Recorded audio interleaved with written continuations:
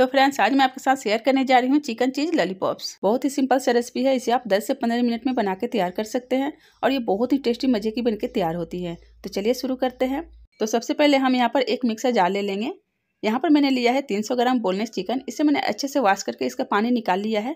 ध्यान आप इस बात का दें कि इसमें बिल्कुल ही पानी नहीं होना चाहिए। इसी के साथ इसमें हम डालेंगे दो हरी मिर्च और साथ ही डाल देंगे थोड़ा सा धनिया के पत्ते। और यहाँ पर हम एक ब्रेड का स्लाइस ले लिए हैं। इसे हम इस तरह से रफली तोड़ के इसमें डाल देंगे। ब्रेड डालने से इसमें बाइंडिंग अच्छी आएगी।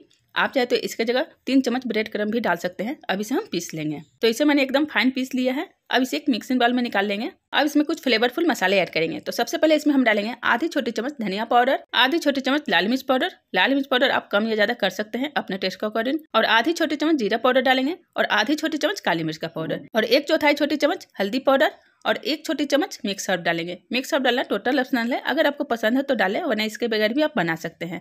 इसी के साथ इसमें हम डालेंगे एक छोटी चम्मच अदरक लहसन का पेस्ट और एक छोटी चम्मच नमक डालेंगे। तो नमक आप अपने टेस्ट के अनुसार डाल सकते हैं। अब ये सारी चीज़ों को अच्छे से मिक्स कर लेंगे। तो इसे हमने अच्छे से मिक्स कर लिया है। अब इसमें डालेंगे एक छोटी चम्मच तेल। आप इसके जगह घी या बटर भी डाल सकते हैं। इससे ये सॉफ्ट बनती है और इसे डाल के अच्छे से मिक्स कर लेंगे। तो इसे मैंने अच्छे से मिक्स कर लिया है। अभी इसे साइड रखेंगे। अब यहाँ पर मैंने एक बाउल लिया है, इसमें हम एक अंडा तोड़ के डालेंगे और साथ ही थोड़ा सा इसमें नमक डाल देंगे और इसे अच्छे से मिक्स कर लेंगे। तो इसे मैंने अच्छे से मिक्स कर लिया है और यहाँ पर मैंने ब्रेड क्रम ले लिया है। तीन ब्रेड को मैंने बारीक पीस लिया है और यहाँ पर हम चीज़ क्यूब ले लिए हैं इस तरह से और साथ ही हमने यहाँ पर स्टिक ले लिया है। स्टिक को मैंने साफ़ कर लिया है। अब हम क्या करेंगे, इस तरह से एक चीज़ लेंगे और इसमें स्टिक करते जाएँगे। तो इसी तरह से सारे चीज़ में स्टिक कर लेंगे, इस तरह से। तो यहाँ पर सारे चीज़ को मैंने स्टिक कर लिया है। अब हम क्या करेंगे? थोड़ा सा हाथों में तेल लगाएँगे। अब इसमें से थोड़ा सा पोषण लेंगे और इसे राउंड शेप दे देंगे इस तरह से। अब इस तरह से एक स्टिक लेंगे और इसके ऊपर चारों तरफ़ से अच्छे से कवर करेंगे। बस ध्यान रहे कि आपको चारों तरफ़ से अच्छे से कवर करना है ताकि जो इसमें चीज़ है वो बाहर से दिखे ना। नहीं तो जब इसे हम फ्राई करेंगे तो तेल में मेल्ट होकर चीज़ बाहर निकलने लगेगी। और इसके ऊपर थोड़ा सा तेल लगा के इसे चिकना कर लेंगे।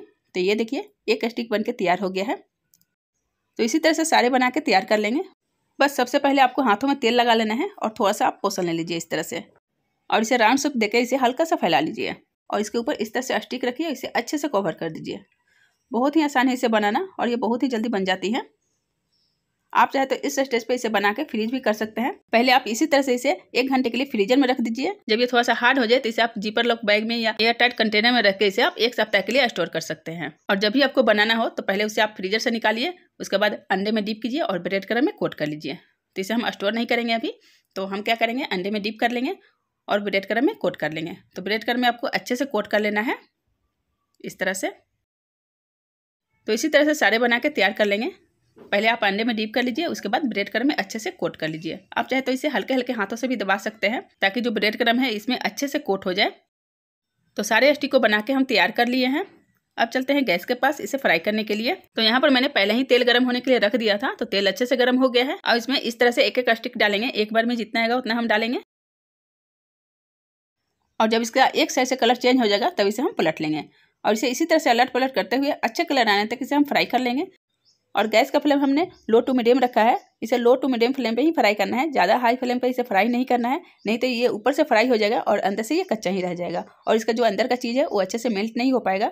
तो ये बात का आपको खास ध्यान देना है। इसे आप लो टू मीडियम फ्लेम पर ही फ्राई करें और यहाँ पर देखिए इसका कलर चेंज हो गया है और ये अच्छे से फ्राई हो गया है। तो अब इसे हम निकाल लेंगे। और आप देख सकते हैं देखें कितनी टेंटी लग रही है ना। और ये बहुत ही टेस्टी लगती है। इसी तरह से सेकंड बैच का भी फ्राई कर लेंगे। अगर आज की रेसिपी आपको पसंद आ रही होगी तो वीडियो को लाइक शेयर कर दीजिएगा। और अभी तक हमारे चैनल को सब्सक्राइब नहीं किया है तो चैनल को भी सब्सक्राइब कर दीजिएगा। और साथ में जो बेल आइकन घंटी की बटन है, उसे भी एक बार ऑल पर क्लिक कीजिएगा, ताकि मेरे हर आने वाली नई वीडियो के नोटिफिकेशन आप तक पहुँचते रहें। और यहाँ पर देखिए, ये भी अच्छे से फ्राई हो गया है तो इसे भी हम निकाल लेते हैं। तो सारे चिकन चीज़ लॉलीपॉप्स बन के तैयार हो गए हैं, अब इसे हम सर्व करेंगे। तो लीजिए, बहुत ही टेस्टी और बहुत ही अम्मी चिकन चीज़ लॉलीपॉप्स के तैयार है। इस रेसिपी को एक बार मेरे तरीके से ज़रूर ट्राई कीजिएगा, ये आपको बहुत पसंद आएगी और इसे बनाना भी बहुत आसान है और ये बहुत ही कम टाइम में बनके तैयार हो जाती है। इसे आप हरे धनिया की चटनी या अपने मनपसंद सॉस के साथ सर्व कीजिए, ये दोनों के साथ बहुत ही टेस्टी लगती है। एक मैं आपको तोड़ के दिखाती हूँ। ये देखें, इसका जो चीज़ है अच्छे से अंदर तक मेल्ट हो गया है। ये देख सकते हैं आप। तो आज के लिए बस इतना ही। उम्मीद करते हूँ कि आज की रेसिपी आपको पसंद आई होगी। रेसिपी पसंद है तो वीडियो को लाइक शेयर करें। और अभी तक हमारे चैनल को सब्सक्राइब नहीं किया तो चैनल को सब्सक्राइब करें और अपना फीडबैक देना ना भूलें।